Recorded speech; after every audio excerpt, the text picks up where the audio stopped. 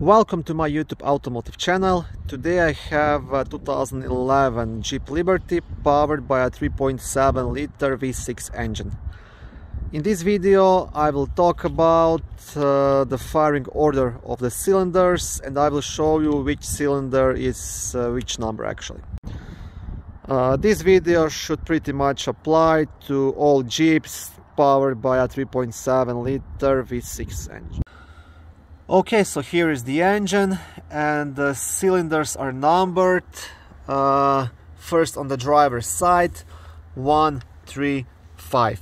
So the closest one to the radiator is cylinder number one and the farthest one and the closest one to the firewall is cylinder number five. So one, three, five.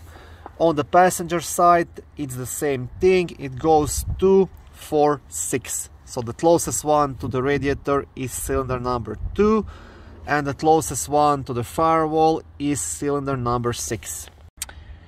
Okay, and the cylinder firing order on these engines goes like 1, 6, 5, 4, 3, 2.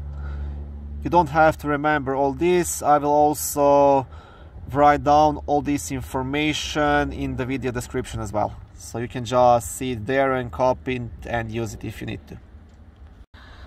And the last thing these engines also have only three coil packs.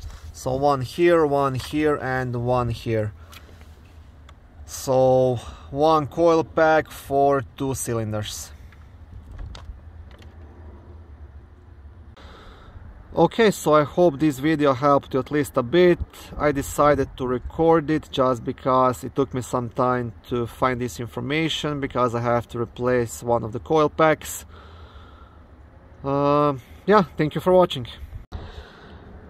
If this video was helpful, please like it and consider subscribing and joining my YouTube automotive channel on my channel there is lots of how-to videos, do-it-yourself videos, car reviews, product reviews and other similar automotive topics.